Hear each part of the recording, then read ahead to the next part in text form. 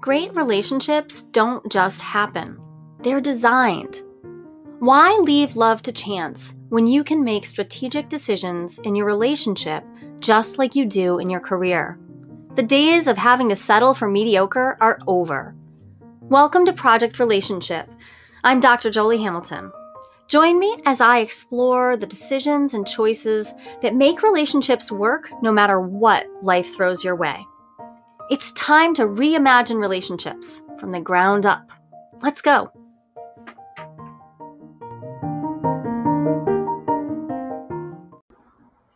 Hey, everybody. So, we're going to get to our episode in just a second, but I wanted to make sure that you heard about my latest offering because people have been asking, How can I work with Joli? And I would love to work with you, but you all have such individual relationships. So I would love to see you pop into my next free live training. It's the best way. Yeah, my eyes, right, your relationship. These are small, intimate groups. We're just going to meet in Zoom and we're going to talk about what it is that you want and how you can get it. Go to my website, jolihamilton.com, click on the Work with Joli tab. You'll see some live trainings and master classes coming up. Grab a spot at the next one and we'll see you in there. Okay, everyone, you're probably going to get a double welcome on this episode, and that's because we recorded it with an actual other person again. And that means that Ken and I broke up our recording sequence. But it's been completely, completely worth it because today we have an episode that we recorded with Leah Marshall. Leah leads this amazing community online. It's a Facebook um, community called the Esther Perel Discussion Group. And there's over 13,000 members in this group. And something that I've been really impressed about is how in this group that she, you know, has somehow just brought into being they discuss sex, desire, eroticism, polyamory, infidelity, relationships of all types, and they do it with such care and grace across the board.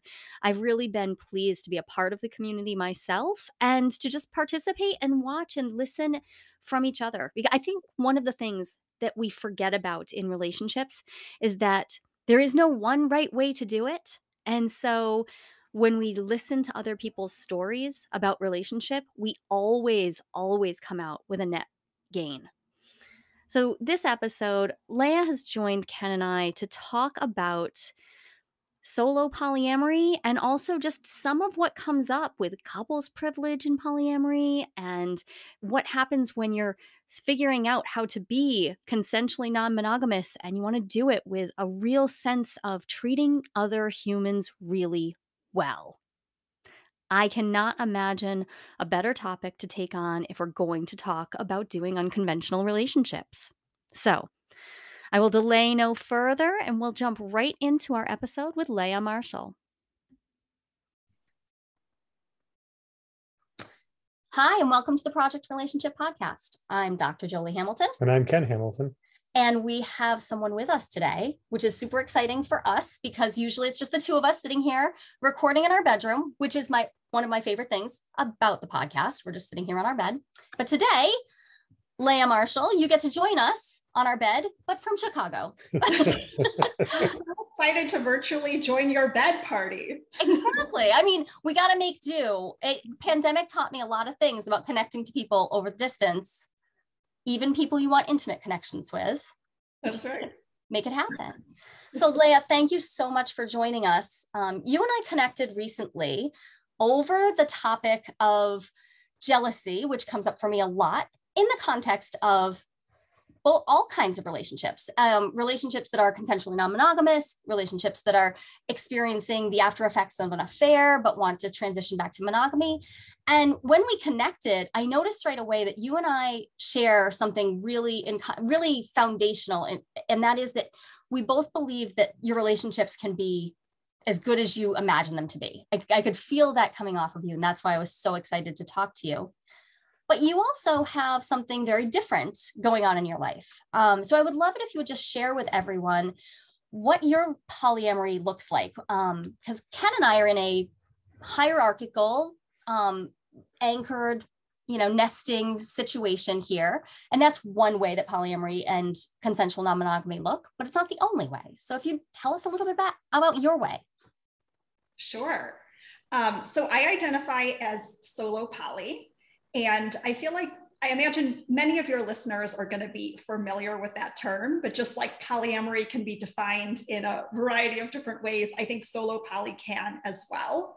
Um, some people define it as being self partnered, which doesn't really resonate with me because I feel like, well, all human beings are self partnered. You know, it's the longest and deepest relationship you'll ever have is your relationship with yourself.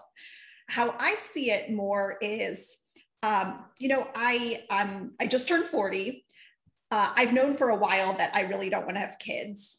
Um, marriage has never really been a dream um, or something that I'm drawn to. Um, and, you know, for the majority of my life, I have lived alone. Mm-hmm. And I really like it that way. Like, I like living in my own space. Um, I have a lot of passions that I pursue from dance to the relationship group I run.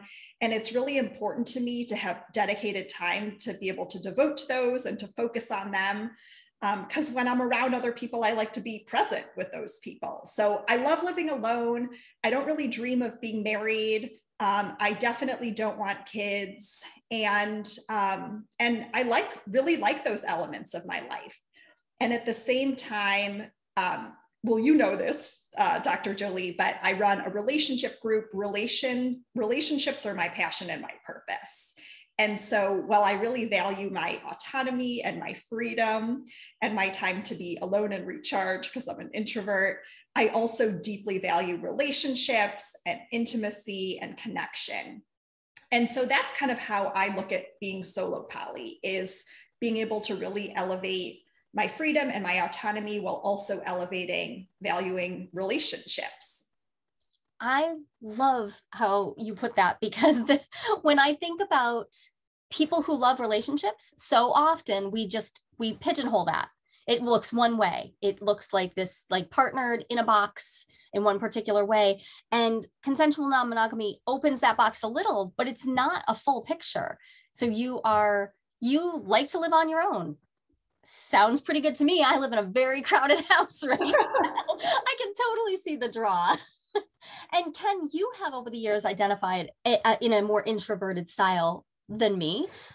Oh, there must be some part of you that's like, oh, yeah, you'd have a lot more time to pursue your your own passions. Well, and I'm I'm looking at where so we're on video here, and I can see where you're sitting, and I'm thinking, okay, so you're in you know the Chicago, and there's like I'm picturing you living in a place where a lot of other people live, and there's a lot to do, and you have a lot of control over your own time. Um, and that sounds pretty good. yeah. and your kitchen counters can stay clean. That's that's impressive. It really is. You know, I think that's reason enough. Not a lot of people walking by leaving your cupboards open. um, and do you have um, uh, long-term relationships and things like that? Like, what's your what's your commitment level to the people in your life? And I, I since you just described your approach, I feel like some of my questions aren't even necessarily relevant, but I have to start somewhere. So, um, yeah, how do you approach your intimate relationships? Yeah, so I actually only realized that I was polyamorous about just over a year ago. And what was interesting is um, you know, I mentioned my age, so I just turned 40.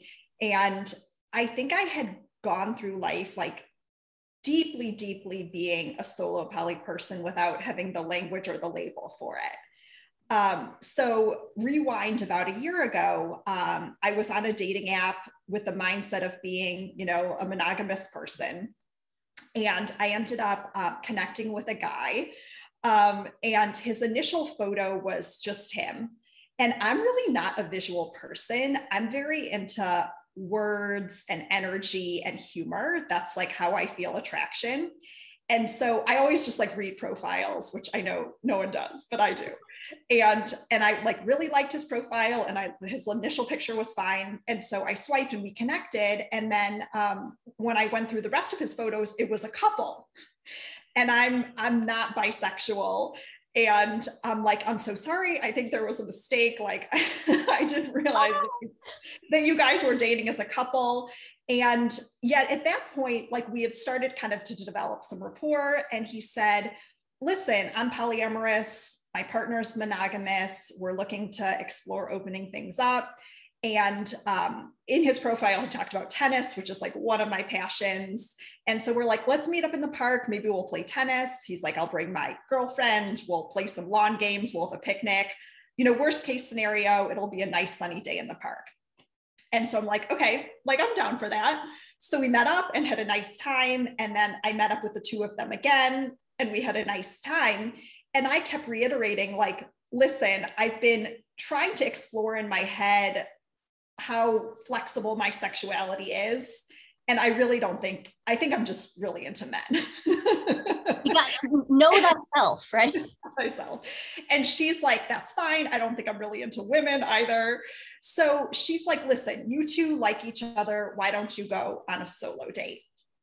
And so we go on a solo date. And meanwhile, you know, I mentioned like kind of my erotic blueprint is very energetic. So I like anticipation and I like talking about things and I like, you know, flirting. And we were doing a lot of that and like developing a lot of energy. So we have our solo date. We shared an act of physical intimacy. And of course, I'm like brand new. I'm brand new to this. So it didn't occur to me that like a lot of what I was sharing with him and a lot of what we were doing was going to be shared with her.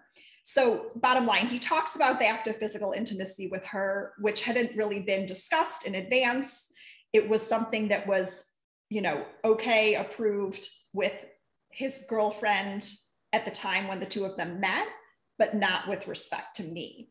And um, she got upset, and and he uh, asked for a two week pause.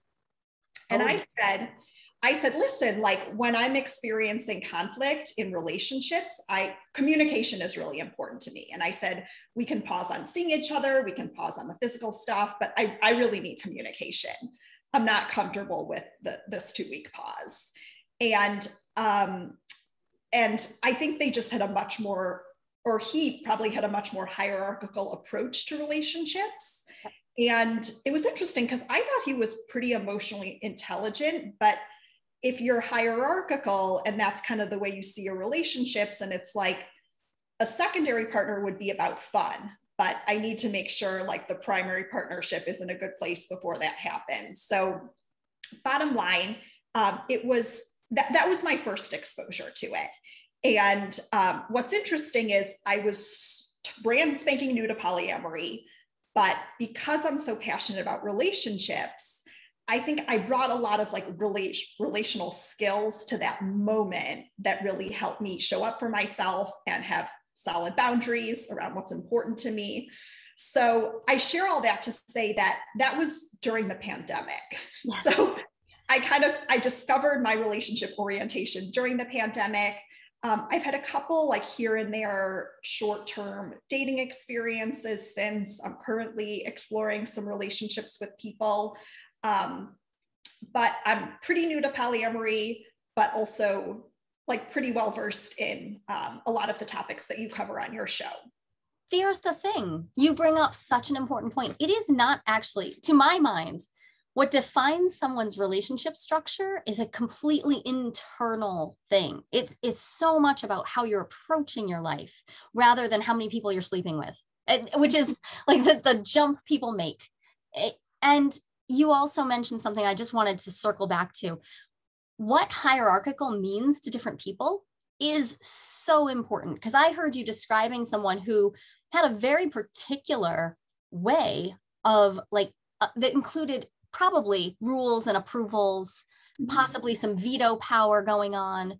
These are all things that aren't part of our version. When I mm-hmm. say we're hierarchical, I'm thinking about, well, practically speaking, we own a house together and we share a bed and we have kids that we raise together. So I would hate for somebody to come in and think, oh, it's just all going to feel super equal because realistically speaking, that's not something that we can provide. But I I have been a secondary partner myself and it's a tender topic for me. So the idea that that I would get to decide what's okay for someone else to experience in their relationship. This is this is pretty much why I do the work. So I'm glad you're bringing this up. Bringing yeah. relationship skills is the whole game. It doesn't matter how many people are are involved. Yeah, the way that I look at it is, you know, the difference between descriptive versus prescriptive hierarchy. Yeah.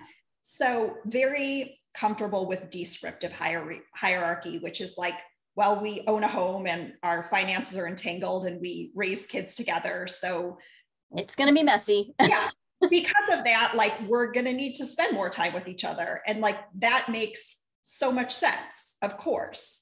I think where it gets tricky is when um, someone's in a hierarchical relationship. And because of that, they say, if my primary partner is triggered, and there's conflict with the secondary partner, I'm not able to simultaneously hold space for and show care and consideration for both people. I'm only able to focus on the primary partner, and it's only once that relationship is in a really good place that I can pick things back up with the secondary partner. So that's not okay with me. And then similarly, when uh, my metamor has boundaries and my primary partner, or sorry, my partner takes on his primary partner's boundaries as his own. So he's not able to kind of show up for me and have my back in the same way that he has, you know, is showing up for and has the back of his primary partner. So those are two things that I really look for early on. Yeah, yeah. I then, appreciate that. And yeah, absolutely. Because I hear you describing a situation where ideally everybody understands what their own boundaries are and but enmeshment makes that but enmeshment yep. Is this my boundary or is this your boundary? And have we ever talked about this boundary? Is it either one of us there's boundary or did we make something up out of our own heads and it gets really complicated really fast?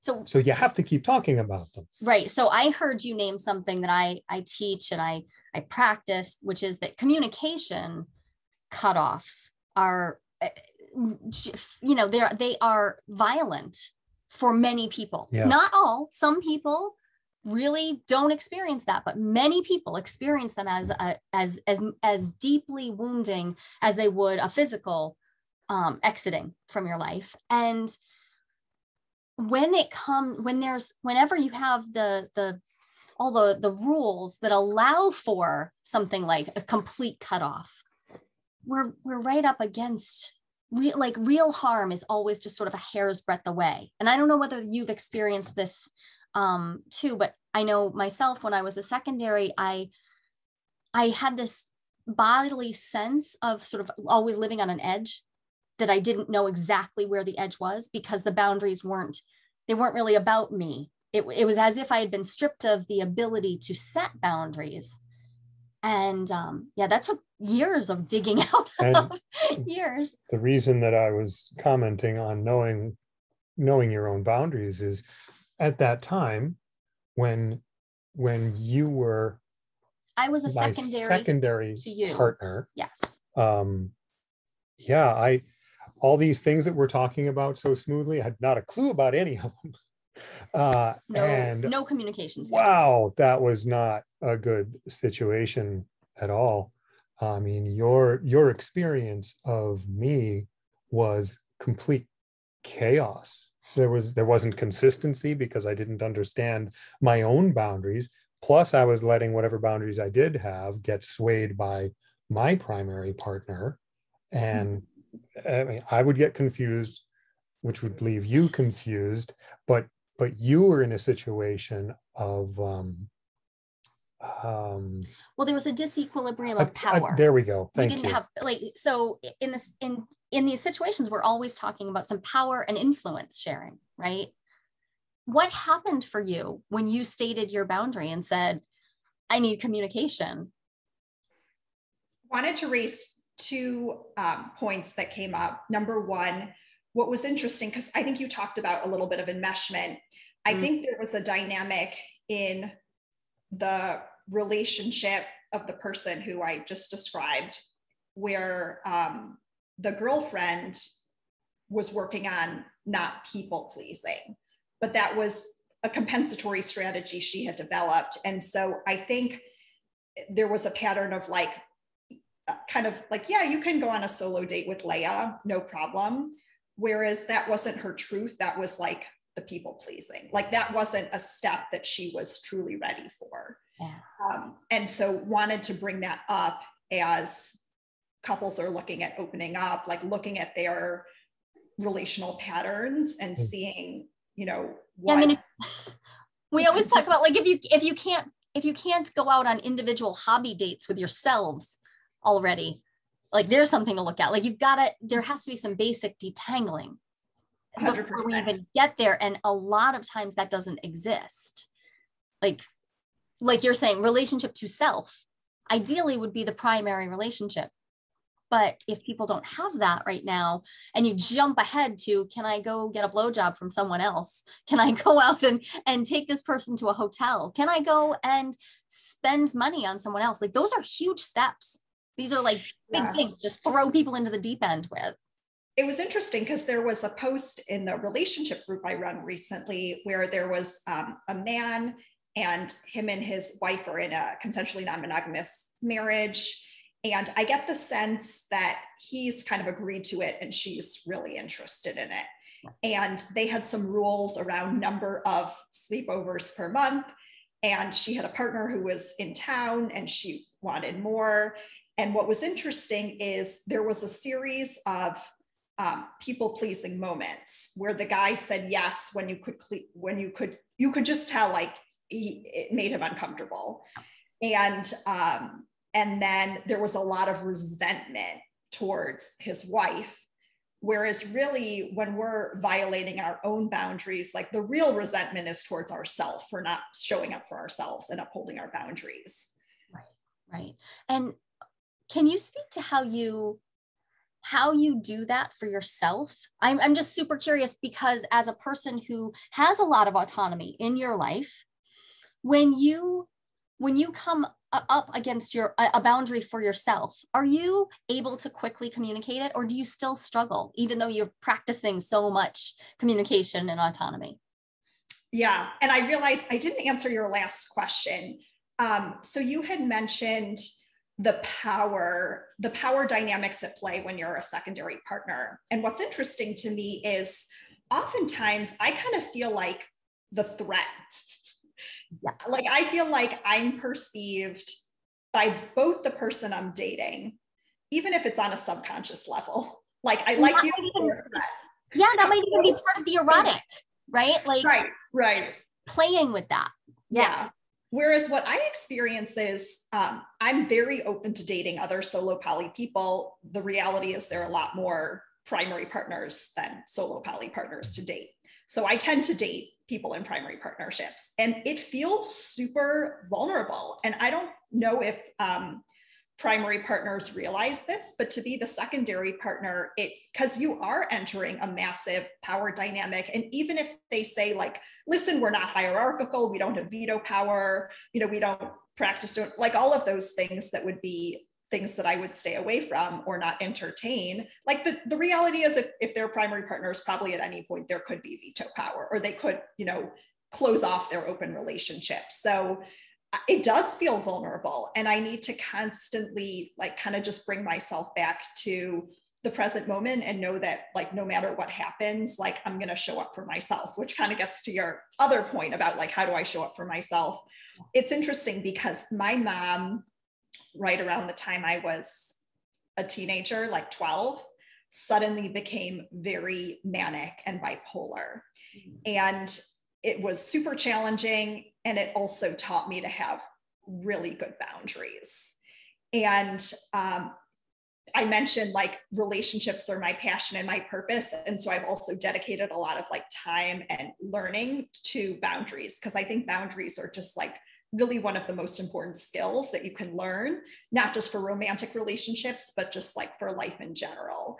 And so I would say they just, um, it, it comes pretty easily to me because I know myself and I've learned the skills to communicate like my truth.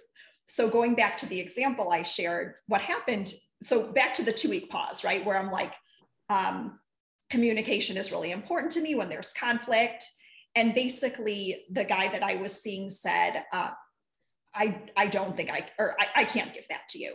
And mm-hmm. so they took time to, uh, to sort things out. And basically he regrouped and said, my partner and I aren't on the same page about non-monogamy and we're working with a therapist and we're going to see if we can, you know, try to find some middle ground. And he said, could I circle back with you in a few months?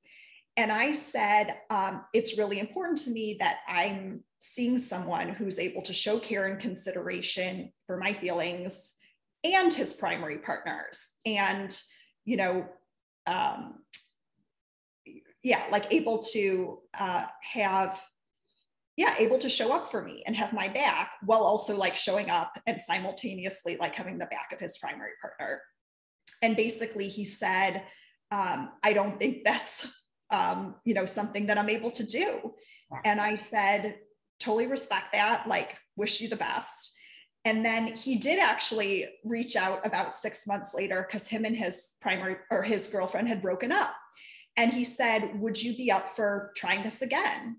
And I said, I feel like what caused the conflict before between us was that we have very different relationship philosophies.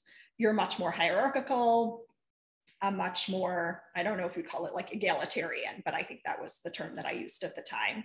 And, um, you know, he's, because he wants kids, he wants a family. I don't want that. So I, I knew that I wouldn't be a primary partner. And I knew that he was looking for a primary partner. And I'm like, I feel like when you find someone who's your primary partner, we're just going to be bumping up against the same relationship philosophy difference and and i said i really need to feel like the person i'm dating or involved with romantically like has my back and is going to show up for me and he just really he's not in a place where he's interested or able to do that. And so that's kind of how we ended things.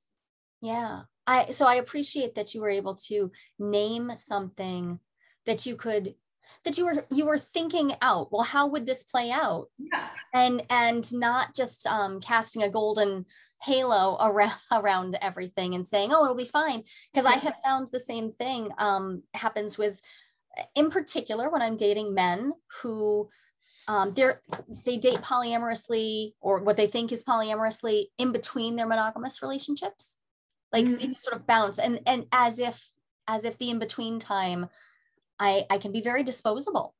Yeah. I, and that's and the same thing I had to learn the hard way. Oh no, I have to actually I have to set this boundary for myself and I have to actually anticipate because they don't think that they're lying about it. Like they don't think they're promising something they can't give. They just don't have the experience to know you did not mean to hurt me. Oh, did not. But you did not know I, what you were doing. And you had so much power. Yeah. So I had some some um, like completely untrained sociological observations to make. um, entitlement plays such a huge part in in these situations that we're describing. Um, people have primary partners. So me as as a man with all my white privilege, white male, all the stuff that I that I have, um, it took quite a while to learn how I was affecting you. Because I thought that the power that I had, first of all, I didn't acknowledge that it was power, just danger all by itself. But um, I I didn't notice how the the way I was treating you was dehumanizing you. Yeah. Yeah. And and that's what I hear when when you say so I would like to continue communicating. That's I I so applaud you holding that boundary because to say, oh, that is a person that I don't need to talk to right now, I feel is just when I would do that to you, I would stop thinking about your feelings. But you still have them. You're still a person. You're still out there.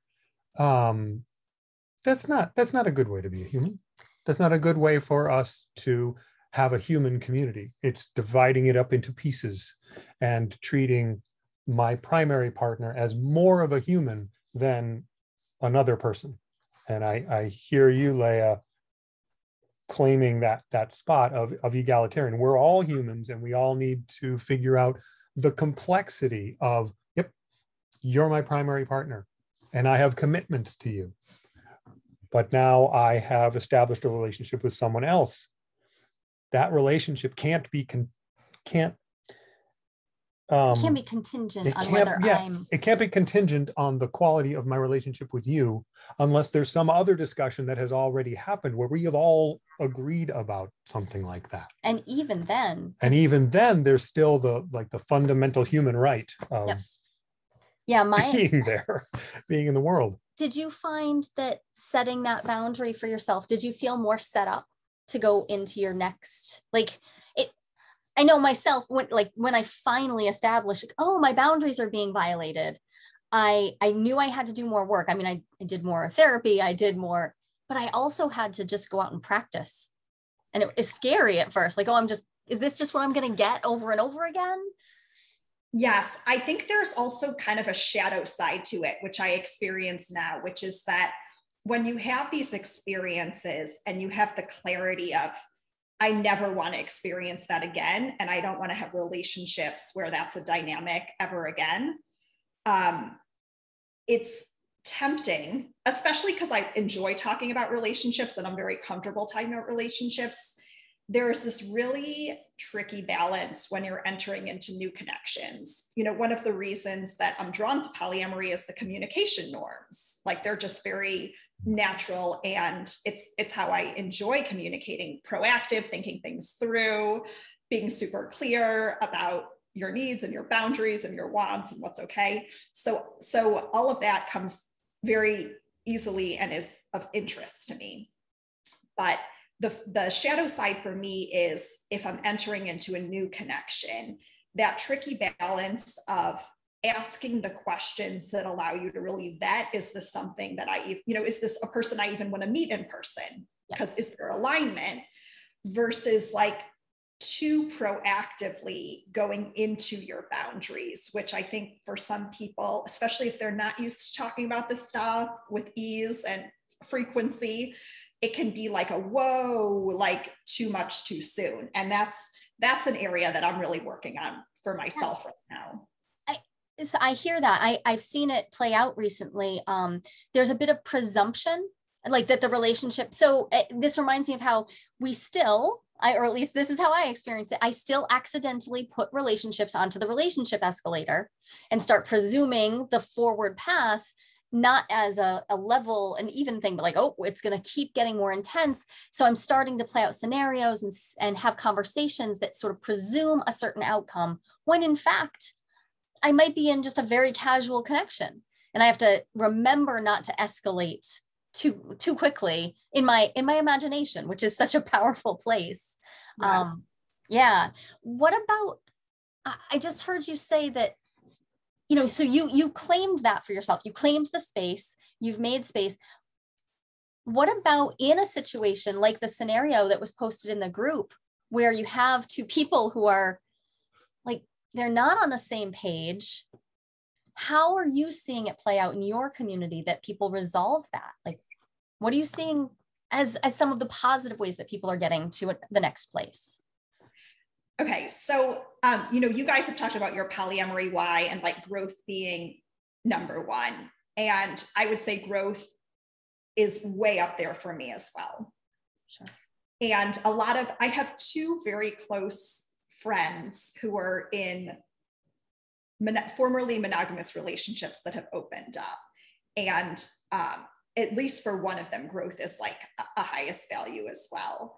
And to me, this is where the like the beauty of polyamory can manifest. So there's someone who, um, the man, um, let's let's assume that a pattern he's experiencing that hasn't served him in relationships is this people pleasing. So mm-hmm. his his wife has asked for something that for him doesn't feel safe or appropriate and he says do it anyway.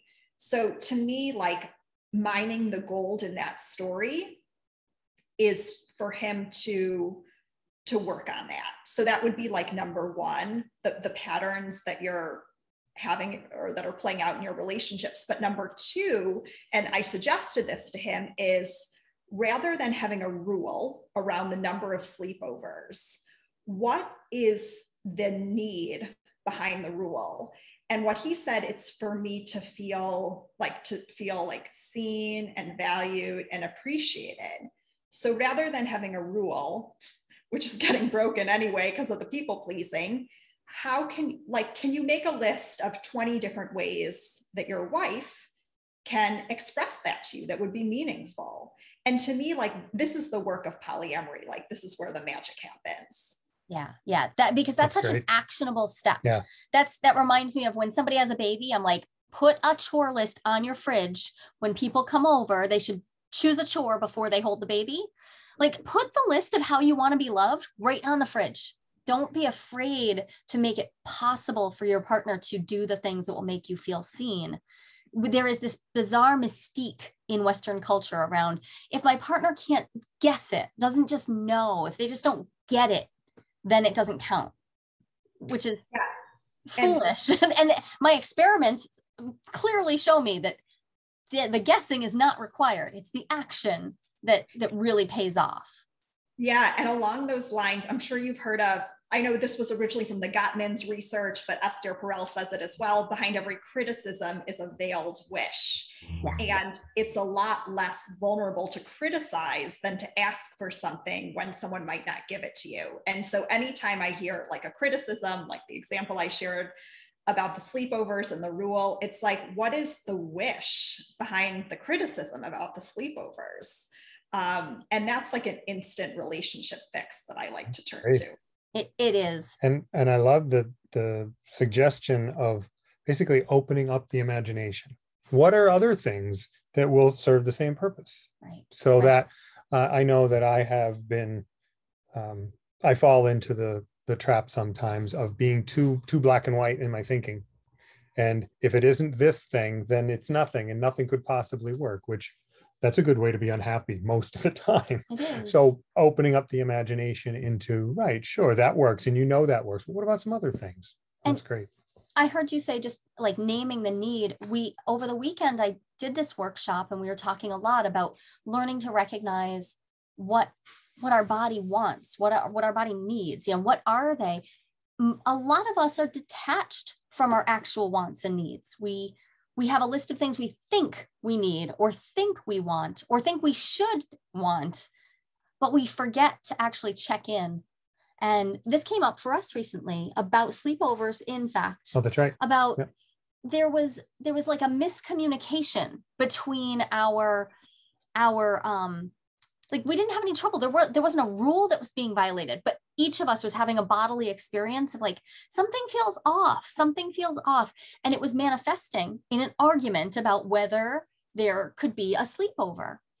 And the irony was that underneath it each of us was having a full body no reaction to this person not to the sleepovers because instantly another person en- enters the picture and we're like oh it's fine. Yeah Oh, right. No amount of doing the work stops you from having to continue doing the reflective work. Yeah. like we still had to come back and, yep, check in again, figure out because the rule would have got, done no good. A rule about whether you can sleep somewhere, it it doesn't. It the the, the soul isn't satisfied by rules. It doesn't care. It wants something more than that.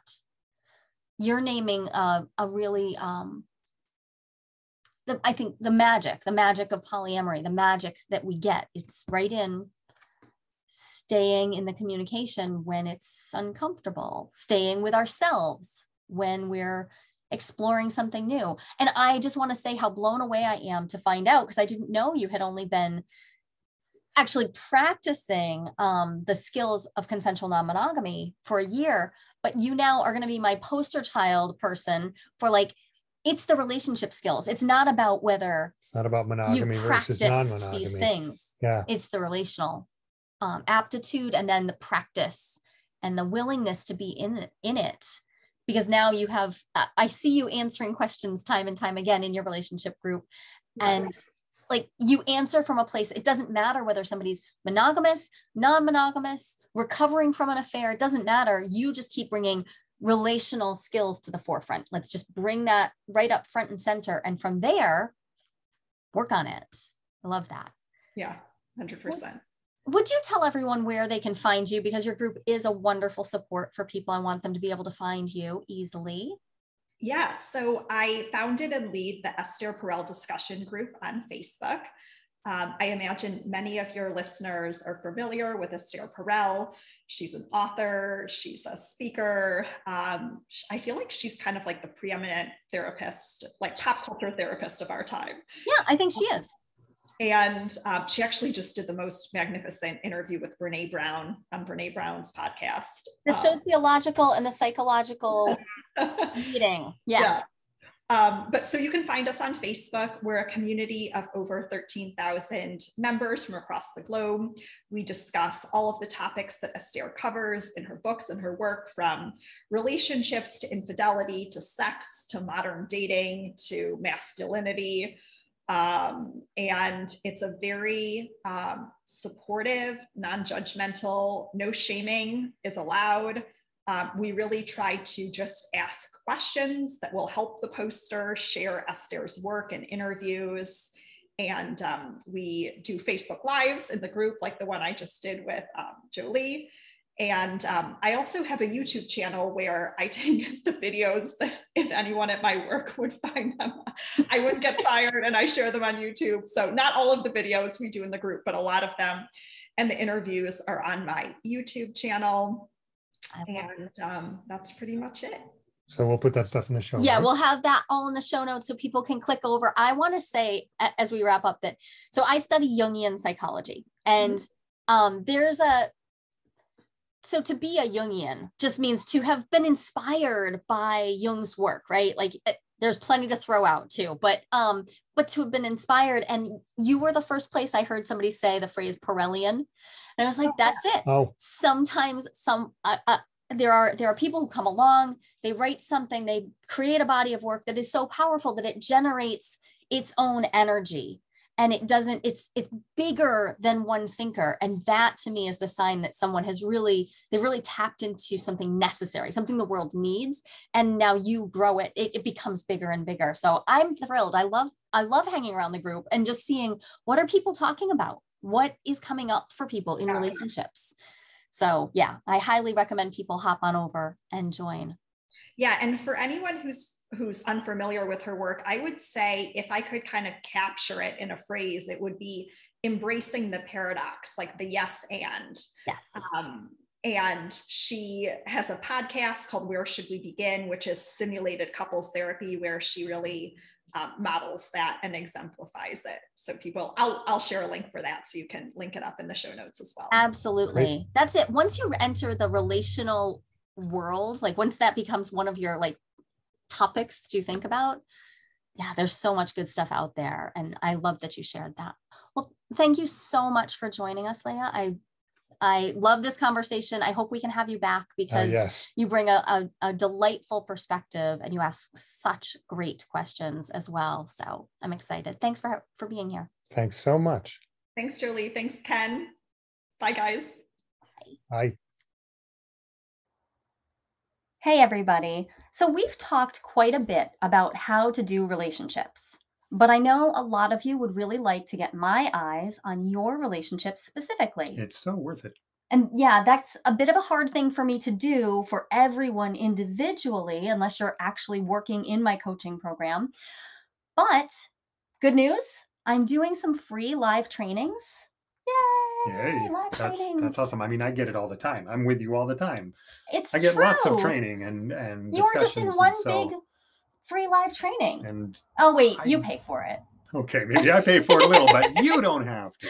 Okay, so I would love to to have y'all click on over to my website jolihamilton.com and if you click on the tab that says Work with Joli, you're going to see my latest offering for a live training. These are 60 minute master classes in how we can relate better. I'm going to be t- covering topics like creative monogamy, like how to transition into consensual non monogamy, if that's your thing.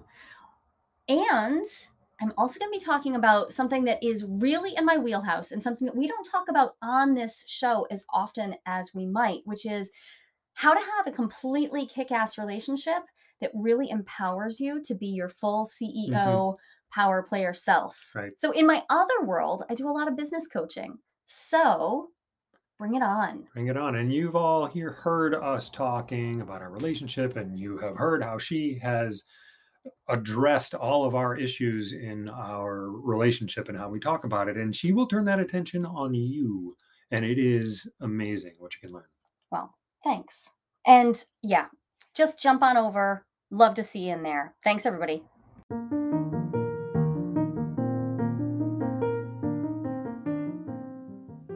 Thank you for listening to the Project Relationship Podcast with Dr. Joli Hamilton and Ken Hamilton. If you're enjoying our conversation, we would be so grateful if you would drop a rating and quick review so more people will be able to find us. And if you have questions or suggestions that you of things you'd like us to tackle, please send an email to joli at jolihamilton.com. I'd love to hear them. Project Relationship, the entrepreneur's action plan for passionate, sustainable love, is available on Amazon in Kindle, soft, or hardcover versions.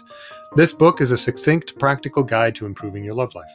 I wrote Project Relationship to give you a set of quick action tools and conversation guides that can transform a mediocre relationship into a fabulous one. These tools are based not just on what Joli learned in her studies, but on what we actually do to make our relationship thrive. Until next time, remember relationships can be messy, and that's good news.